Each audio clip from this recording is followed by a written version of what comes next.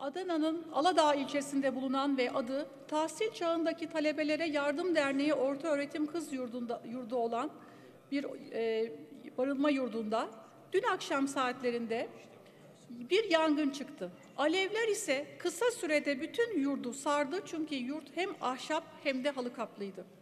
Üç ayrı köyden, Kışlak, Karahan ve Köprücük'ten 5, 6, 7 ve 8. sınıflarda okuyan 11-14 yaşlarında 11 evladımız ve bir personel bu yangında yaşamını yitirdi. 8. sınıf öğrencisi iki kızımız Merve ve Hacer ise o gün yurda gelmemişlerdi, izinliydiler ve bu yangından kurtuldular. Bu çocuklar yoksul ailelerin çocukları. Köyleri ilçeye o kadar uzak ki bazen hafta sonunda bile ailelerini görmeye gidemiyorlar. Aileler imkanları yetersiz olduğu için ellerinden geldiğince çocuklarını okutma mücadelesi veriyorlar ama çok zorlanıyorlar. Değerli milletvekilleri, Karaman olayında da bu kürsüde aynı şeyi söyledim. Yine söylüyorum.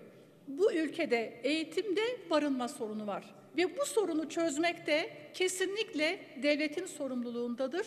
Anayasanın ilgili maddesinde de aynen böyle ifade edilmektedir.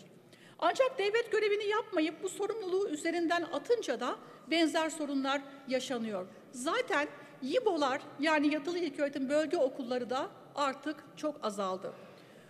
Bu ilçede de bir yurt vardı, devlet yurdu vardı ama kapandı, kapatıldı ve yerine yenisi de yapılmadı. İhtiyaç olunca da işte boşluğu dolduran bu şekilde oluşumlar gerçekleşti. Şimdi 5661 sayılı yüksek öğrenci e, öğrenim öğrenci yurtları ve e, aşevleri hakkında bir kanun maddesini okuyorum size. Özel öğrenci yurtlarını kim açabilir?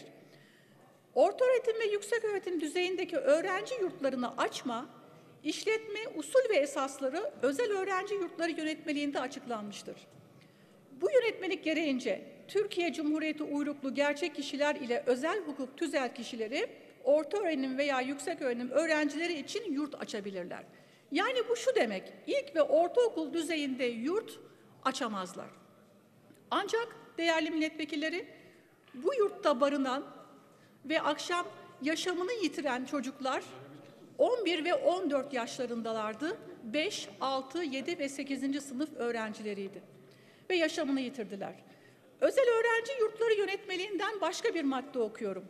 Diyor ki 6. madde binanın kagir, prefabrik, çelik veya betonarme, betonarme olması, giriş ve servis kapılarının bulunması diyor. Bakın burası ahşap kaplı. Muhtemelen de orası bir orman köyü maliyeti düşürmek için yapmış olabilirler. Ama diğer taraftan bu çocuklar kilitli olup açılmayan yangın merdiveninin önünde cesetleri bulunarak yaşamlarını yitirdiler. Buraya dikkatinizi çekmek isterim. Değerli milletvekilleri, şu anda yedi bakan Adana'da bu ilçede basın açıklaması yapıyor. Keşke bu acı yaşanmadan önce bazı hataların önüne geçebilselerdi. Şimdi soruyorum, bu yurda kim ruhsat verdi? Bu yurdun denetimleri yapılmış mıydı? Denetimler yapıldıysa raporları nerede? Bunları görmek istiyoruz. Neden orada kalmaması gereken yaş grubundaki kız çocukları orada barınıyorlardı? Ve yine yangın merdivenine açılması gereken kapının standartları nasıldı? Neden kapalıydı?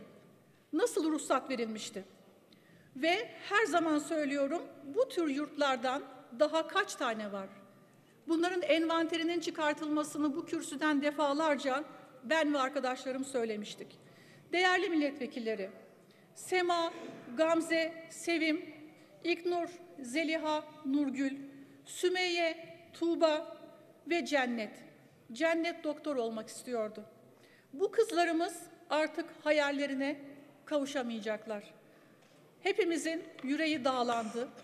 Ama bu acılar ne zaman dinecek? Unutmayalım ki değerli milletvekilleri biz de anne ve babayız. Ve bu çocuklar bu ülkenin evlatları bu sorumlulukta bize düşüyor. Ancak bu sorumluluğu halen yerine getiremediğimizi görüyoruz. Lütfen herkes bunu bir kez daha düşünsün ve öncelikle bu illegal yurtların illegal yerlerin, denetimsiz mekanların envanteri çıkartılsın. Bu acılar bir daha yaşanmasın. Bu çocuklara Allah'tan rahmet, keder Teşekkür ederiz Sayın Karabıyık.